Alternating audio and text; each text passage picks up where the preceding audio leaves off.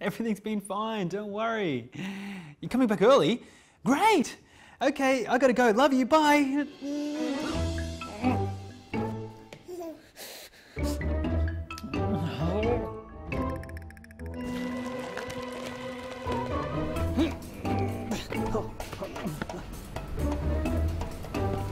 Thank you, Batehaven Dry Cleaners!